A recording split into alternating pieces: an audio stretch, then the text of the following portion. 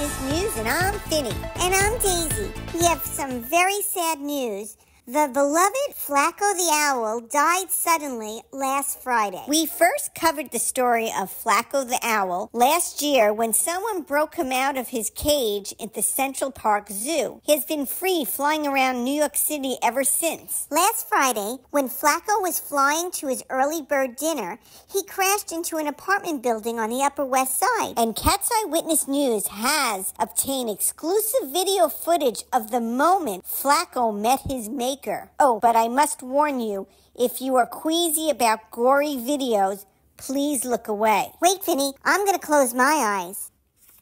Here's the exclusive video.